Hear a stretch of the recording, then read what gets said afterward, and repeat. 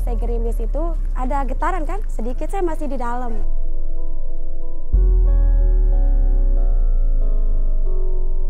Kebetulan kamar saya di sini, saya lagi gendong anak saya, pasti itu gempa.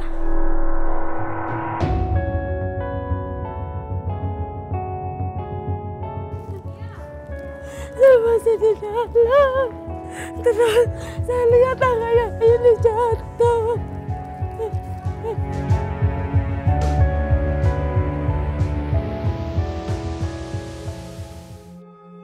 Pada malam Senin, jatuh pada tanggal 19 Agustus 2018 pukul 11.30 waktu Indonesia Tengah. Tapi sebelum gempa itu juga sempat gerimis. Selesai gerimis itu ada getaran kan? Sedikit saya masih di dalam. Kebetulan kamar saya di sini, saya lagi gendong anak saya, pasti itu gempa.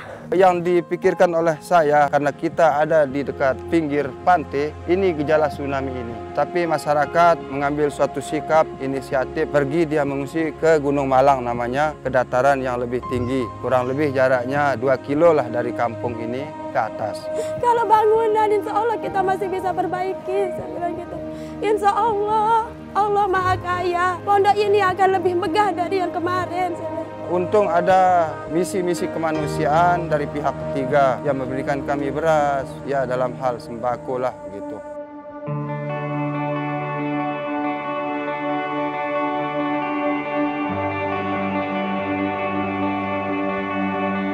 Sekarang ni kami berada di KLIA 2 di mana sebentar saja lagi kita akan berlepas ke Lombok untuk misi gempa di Lombok.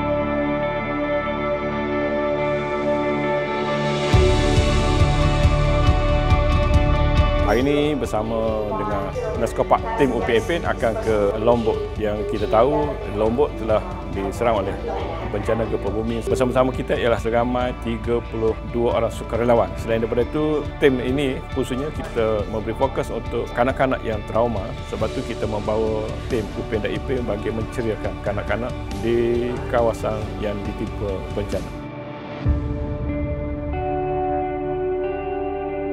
Kami warga Leskopak dan bersama dengan Yayasan Amal Malaysia bersama-sama dengan juga sukarelawan dari Malaysia juga telah tiba di airport Lombok.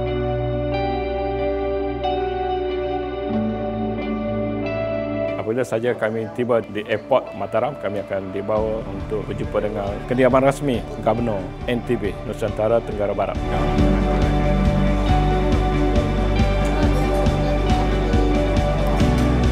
Kedatangan Upin dan Ipin ini satu hal yang besar buat banyak anak-anak di Lombok ini. Satu mimpi yang jadi kenyataan. Dan mudah-mudahan kehadiran Upin dan Ipin ini akan menyembuhkan banyak luka yang ada di sini, akan menyenangkan anak-anak di Lombok, Nusa Tenggara Barat ini, akan sangat bahagia melupakan gempa akibat kehadiran Upin dan Ipin. Jadi kami berterima kasih kepada semua pihak, saudara-saudara kami yang dari Malaysia, yang membuat acara atau Upin dan Ipin bisa hadir di bumi Nusa Tenggara Barat yang kami cintai ini.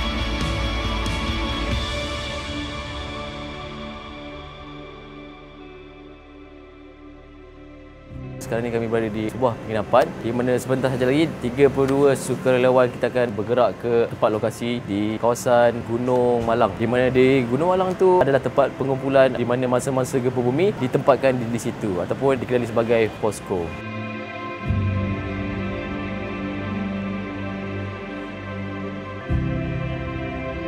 Sekarang ni kami telah berada di tapak uh, di mana kejadian gempa bumi pada Julai yang lepas. Okey, di mana setelah kami tiba, kami lihat dengan mata sendiri terdapat rumah-rumah yang banyak yang hancur, roboh, rata sama sekali dan sebelah kanan saya ni ada mangsa gempa bumi. Nama penuhnya apa? Nurmin. Uh, betul uh, Kak Normin ceritakan uh, bagaimana rasanya ataupun perasaan ketika gempa bumi itu berlaku. Takut sama gempanya, takut sama tsunami-nya juga kan. Waktu pertama gempa itu yang terakhir, semua pada lari. Lihat air sudah mulai menyusur ke tengah Ya. dikit, akhirnya kita lari semua ke luar. Kami dari Pondok Pesantren Abu Abdillah mengucapkan beribu terima kasih kepada donatur yang berkenan menyisihkan sedikit rezekinya kepada kami di sini. Saya atas nama masyarakat di sini mengucapkan beribu-ribu terima kasih kepada bapak-bapak sekalian atas kunjungannya ke kampung halaman kami. Syukur Alhamdulillah jika ada rezeki yang dikasih. Kalau tidak ada, tidak menjadi suatu hal yang berat bagi saya. Tapi berkat trauma healing nanti yang diberikan ini mungkin dapat memberikan suatu kesejukan jiwa bagi kita, motivasi hidup ini.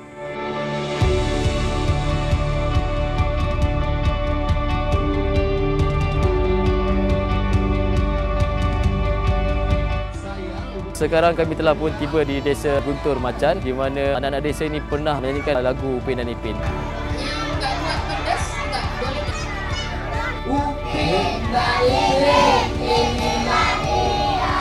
Di kampung mereka juga terdapat uh, kesan-kesan gempa bumi atau rumah-rumah yang telah uh, roboh dan saya lihat uh, mereka juga sedang membaiki rumah-rumah tersebut dan harap mereka tabah dan menerima juga daripada Allah Subhanahu.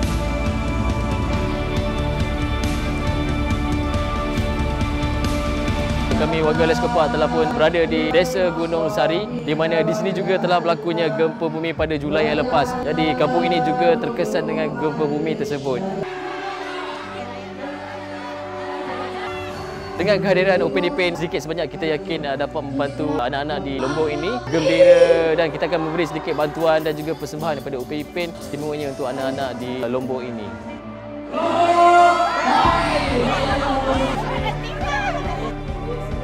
Kalau anda lihat uh, di belakang saya ini terdapat ramai anak-anak di Desa Gunung Sari ini telah pun menunggu UPP dari tengah hari tadi.